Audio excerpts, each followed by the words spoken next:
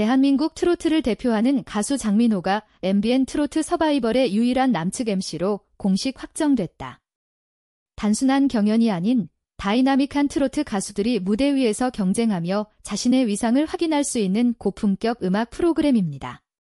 이 소식이 알려지자 많은 사람들은 유명 가수는 물론 실력파 예능인이기도 한 장민호의 새로운 역할에 기대감을 표했다. 연예계와 가요계의 폭넓은 경험을 갖고 있는 장민호가 이 프로그램의 MC로 적임자로 평가받고 있다. 그는 인생에서 많은 어려움을 겪었고 오랜 무명 기간을 극복하고 2020년 미스터 트롯 경연을 통해 유명해졌습니다. 이러한 경험은 서바이벌 프로그램에서 참가자들이 직면하는 어려움과 압박감을 이해하는 데 도움이 되었습니다.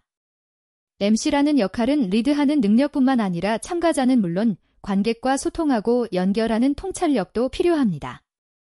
장민호는 친근한 성격과 뛰어난 커뮤니케이션 능력으로 참가자들의 심리적 부담을 덜어주고 편안한 분위기를 조성해 무대에서 빛날 수 있을 것으로 기대된다. 특히 연주자와 청취자 사이에 깊은 감정적 소통이 요구되는 장르인 트로트 음악에서는 장민호의 역할이 더욱 중요해질 것이다. 장민호는 이번 MC를 맡기 전 노래부터 연기까지 크고 작은 예능에 출연한 경험이 있다.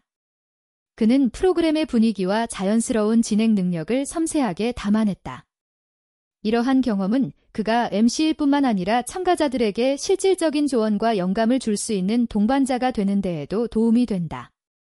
또한 장민호는 젊은 층부터 중장년층까지 폭넓은 세대의 청중을 쉽게 사로잡는 따뜻하고 감동적인 목소리를 지닌 가수로도 알려져 있다. 그의 음악 경력, 특히 트로트 음악에서의 성공은 그가 크고 충성스러운 팬 기반을 구축하는 데 도움이 되었습니다. 장민호는 노래 외에도 자선 활동에도 적극적으로 참여해 숭고한 인간의 가치를 전하고 있다.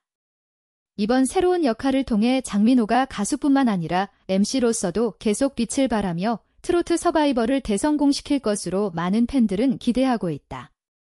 따뜻함과 성실함, 타인과의 소통 능력은 그가 맡은 역할을 잘 수행하는데 중요한 요소가 될 것이다. 앞으로도 장민호는 한국 연예계에 긍정적인 공헌을 많이 하게 될 것입니다.